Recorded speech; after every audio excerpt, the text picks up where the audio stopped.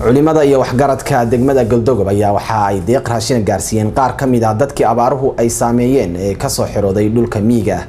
Warbixintan waxaa galdogob nooga soo diray wariyahayaga halkaasi nooga soo warama ciise xasan ciise. Guddiga abaaraha ee degmada geldogob ayaa deeq raashina u qaybiyey afar iyo labaatan qoys oo ka mida dadka danyarta ah agoomo iyo dadkii ka soo xarooday deegaanada miyiga. Kadib markii ay abaartu ka qaaday xoolihii ay ku tiirsanaayeen deeqdan raashinka ah oo isugu jirta bur bariis sonkor saliid iyo caano ayaa waxaa soo gaarsiiyey guddiga abaaraha ee degmada geldogob guddiga abaaraha ee gobolka mudug waxaana soomaali kaybal uga warramay deeqdan raashinka ah halka ay ka timid iyo cidda loo qaybiyey sheekh axmed xasan ciise oo ka mid ah guddiga abaaraha ee degmada geldogob bismillahi raxmaan raxiim alxamdulilah rabbilcaalamiin uma asalaatu wasalaamu calaa rasuulillahi wacalaa aalihi wasaxbi ajmaciin. Annagoo ah guddiga abaaraha ee degmada geldogob waxaan galabta qaybinaynaa xoogaa raashinah oo naga soo gaaray guddiga abaaraha ee gobolka mudug. Raashinkaasi wuxuu ahaa raashin loogu talagalay afar iyo labaatan qoys oo ah dadka degan mudug sare ama reserve area waxa loo yaqaano. Alxamdulilah saddex maalmood baan dadkaa kale xulaynay. Waxaan kaloo uga mahad celinaynaa guddiga abaaraha ee gobolka mudug ee noo dhiibay. Waxaanana dadkaa hortooda iyo amaamallaahiba ka qiraynaa intii ay noo dhiibeen sidii baanu u gudbinay waa afar iyo labaatan qof bay ahaa qoys bay ahaayeen. Inta loogu talagalana wataas raashinku wuxuu ka kooban yahay shan shay.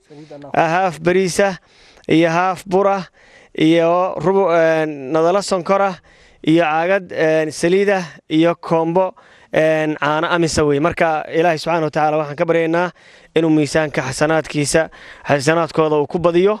Waxaanan leenahay dadkaas walaalihiina markasaale waxay u baahan yihiin gacanqabad bay u baahan yihiin. Runtii waxaa dhacay jiilaal culus oo dadku magacyo badan ay u bixiyeen. Magacyihii iila yaab badnaa saddex jeeraan sahan raacay oo markii hore waxay yidhaahdeen diraacdan magaceeda waxaa la yidhaahdaa sima. Markii damboon haddana soo wareegay labaatan beri kadibna waxay yidhaahdeen diraacdan magaceeda waxaa la yidhaahdaa muudal xooga. Markii saddexaad oon waxay yidhahdeen diraacdan magaceeda waxaa la yidhaahdaa anaa kaa daran. Qof qof kastaa le qof kale waa ka daran yahy arigii baan aroorayn geelii baan aroorayn xoolaan gedmayn dadka iyo xoolahooba quus ba isla taagay ilahay waxaan ka baryaynaa subxana wa tacaala inuu ummaddaas badbaadiyo.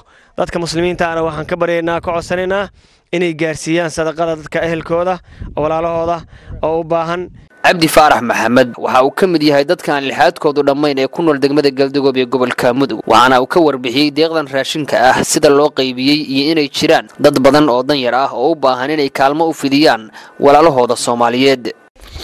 Guddiga abaaraha ee degmada galdogob waa mahadsan yihiin. Hadday wax badanna loo ku dhiibana waa noo keeni lahaayeen. Wixii yaraa oo naloo keenay oo afar iyo labaatanka qoysah waa noo keeneen waana hor taagannahay arrintuna faanoole fari kama qodna.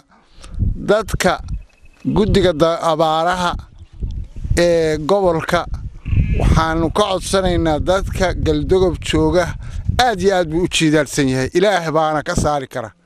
Adinkuna inaad u hagar la'aataanoo soomaalinimo iyo sadaqadana ciddii la soo baxday ilaahay wax weyn ha ugu beddelo guddiga abaaraha ee degmada geldogob ayaa mashruuc biyodhaamisa ka waday bilihii ugu dambeeyey deegaanada hoos yimaada degmada waxaana ay kumanaan booyadood oo biyo a gaadhsiiyeen deegaanada miyiga ah ee ay abaartu saamaysay. Qaar ka mid a dadka reer guuraaga ah ayaa si xawliya u soo dhoobanaya daafaha magaalada iyo ceelasha biyaha kadib markii ay ka idlaadeen xoolihii ay ku tiirsanaayeen waxaana ay dadkaasi haatan wajahayaan xaalad nololeed oo adag. Ciise xasan ciise somaali kaybal degmada geldogob